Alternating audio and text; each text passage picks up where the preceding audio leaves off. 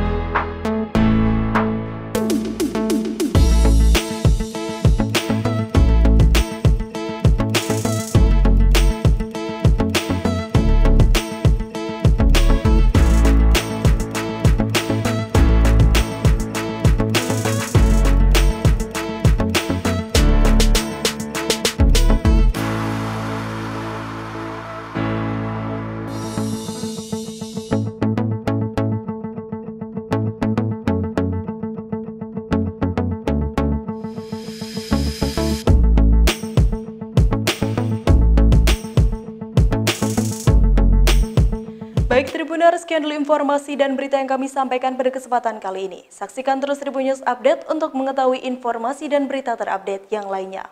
Terima kasih sudah nonton. Jangan lupa like, subscribe, dan share ya.